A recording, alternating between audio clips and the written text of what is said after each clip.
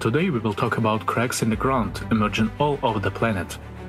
A senior researcher at the Department of Dynamic Geology at Moscow State University will comment on the reason why they occur. And we will also cover a topic of tectonic activity of the Great Rift Valley in Africa. And now to the latest climate events on Earth. On March 19, 2018, in Kenya, not far from the capital of Nairobi, there appeared a crack in the Earth's crust with a length of several kilometers. It measures 15 meters deep and 20 meters wide in some areas. A geological fault, or a fracture, is discontinuity in a volume of rock, in other words, the separation of a single massive into two blocks. If there was just a split in rocks without the blocks shifting relative to one another, then this formation is called a crack. If the blocks slip relative to one another, it is called a fault. Large faults in the Earth's crust are formed at the junctions of tectonic plates during their movement, which leads to earthquakes. Quite often, faults do not happen on one surface area. They create zones of breaking strains. Faults can be ancient, dead, leaving a mark in the geological history of some catastrophic event, or alive, active, displaying mobility now and capable of showing it in the near future. The most striking example is the San Andreas Fault. Since the boundaries of the plates are not perfectly even, one can see protrusions and grooves on their surface, similar to teeth of a gear. When moving, the Pacific and North American tectonic plates cling to each other as teeth, therefore increasing the tension.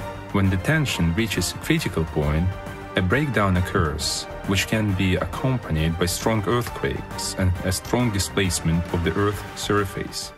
Alexander Viktorovich Spiridonov, senior scientist at the Department of Dynamic Geology of the Geological Faculty of Moscow State University, lecturer and author of lectures on popular geology, kindly agreed to share with us the information about the causes of the occurrence of faults and earthquakes. The entire Earth's crust is always in a tense condition. One cubic meter of any rock weighs about 2.5 tons. That is, if we simply dig out a cubic meter of any rock and put a sensor there, it will already be pressurized with 2.5 tons. And at 10 meters? What about 100 meters or at several kilometers? If you would just go 20 kilometers deeper without going beyond the limits of the Earth crust, you probably realize what kind of pressure would already be there. That is, without taking into consideration any other factors like the forces of Earth's rotation, because nobody has cancelled centrifugal and centripetal acceleration as we live on a rotating ball, the tectonic forces with which the plates interact with each other. What causes the deformation? It is caused by the tense condition, the above mentioned tense condition. In this case, another question arises. Why does it crack in one spot and it doesn't in another, if the pressure is equally very strong everywhere? And this is perhaps one of the main questions of tectonics. Where, why and how will this deformation occur?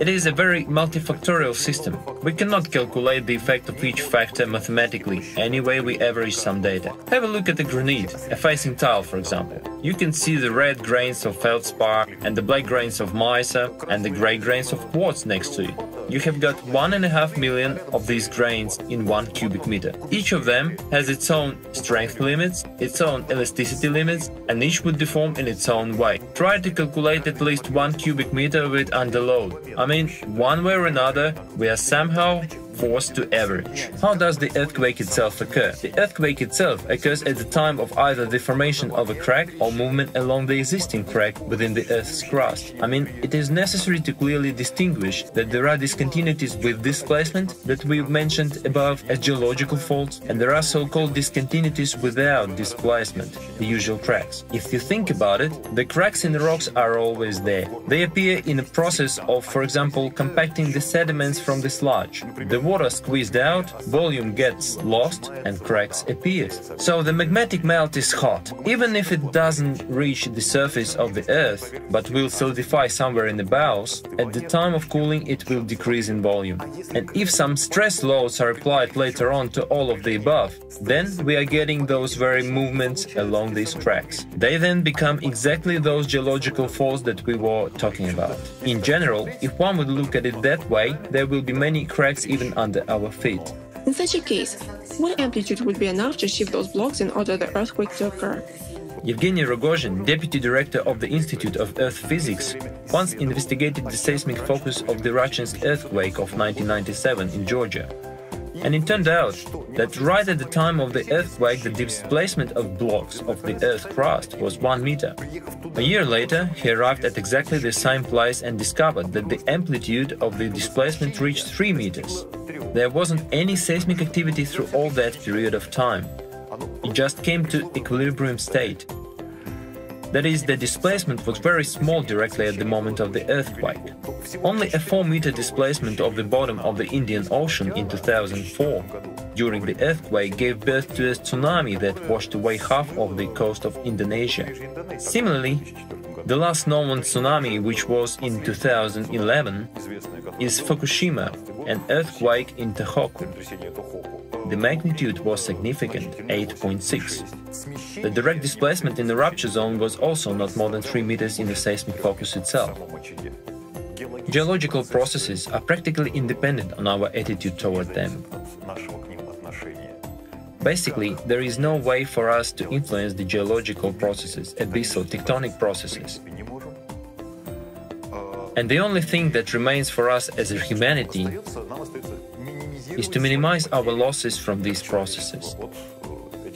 And that can be achieved only jointly, only all together, regardless of what the government of different countries would try to do. That cannot be resolved at the level of one separate state. It should be a truly worldwide tendency.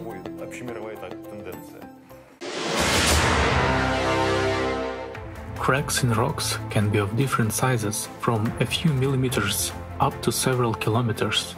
Cracks appear as a result of earthquakes, landslides, as well as in case of ground failures in the cavities of mine workings, clefts, or karst cavities. Although the appearance of cracks on the surface of the earth is a quite common phenomenon, however, their consequences can be disastrous for people. The scale of this natural phenomenon can be understood at the event that occurred in the city of Gramalote in northern Colombia, in the north of the Santander department.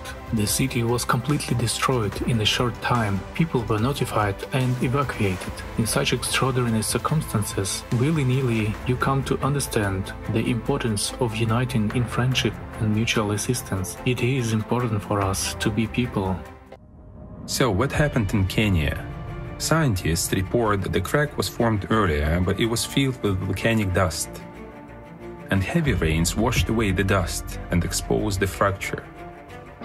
This led to the collapse of the road and alarmed local residents living in close proximity to the fault.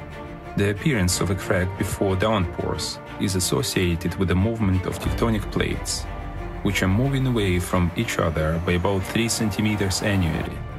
However, other experts say that in this area there were no underground tremors, and the crack appeared immediately due to frequent showers.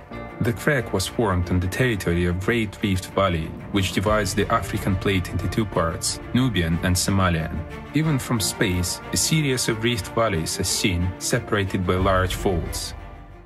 A rift is a large cavity in the Earth's crust which is formed as a result of its stretching or longitudinal motion. This leads to thinning and faults in the Earth's crust.